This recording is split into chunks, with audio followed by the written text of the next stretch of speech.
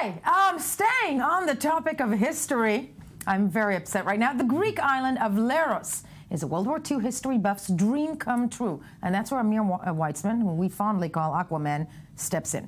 Now, Leros, provided, of course, that they're willing to get wet. If you're willing to get wet, you are getting into the best present of your life. The following report looks at the underwater museum located off that island of Leros, the, the island's coast. Let's take a look at it and what was found underwater. Quite amazing. And then speak to the man who dove deep to get that info. Let's take a look. Long before the Greek islands were a landing point for desperate refugees fleeing Africa in search for a better life in Europe, the region was the theater of heavy clashes during World War II. The island of Leros, located in the eastern Aegean Sea, suffered months of heavy bombardments at the hands of the Luftwaffe as part of the German campaign to take it from the Allies. Nach der Einnahme von Leros und Samos. Die weiße Fahne der Kapitulation weht noch über der britischen Zitadelle von Leros. Zerstörte Schiffe, vernichtete Fahrzeuge und tote Briten zeugen von der Härte des Kampfes.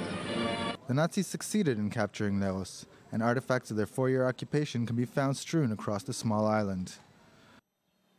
But the real treasure trove of war artifacts are found in the waters around the island. Among the debris littering the seabed are remains of planes, ships, mines, submarines, even human bones. Today, the wrecks are the playground of deep sea divers and aquatic archaeologists. As these images show, the clear waters are the perfect setting for an underwater museum of sorts, the seaweed covered weapons telling the stories of long gone battles. Citizens of the island hope to capitalize on their rare Nazi artifacts and pressure local authorities into making it a proper conservation site so that visitors and historians alike can share in the experience. And we have the man who dove deep and, and, and brought us those amazing images. First of all, Amir Weizman, good morning to you. Thank you for being here. What did we just see? Was that an old U boat?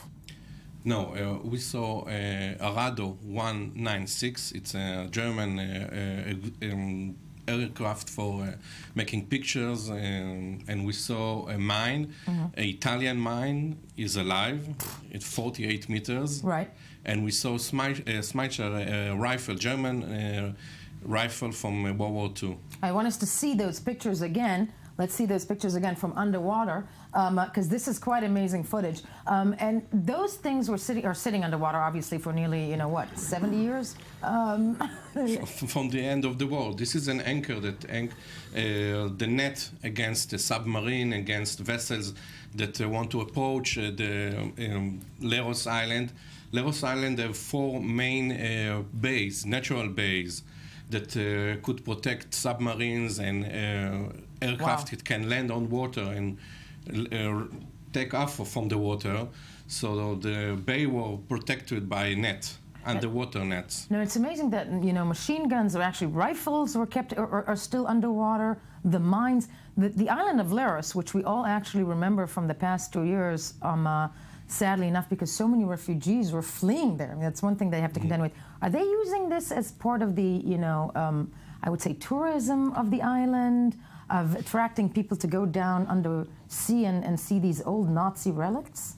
Not too much. Not too much. Why? The island of, Leros is a small island, uh, only uh, 8,000 uh, habitat on the All island. Right. People. Not a lot of tourist uh, attractions. Um, but they have a lot of history. A lot of history.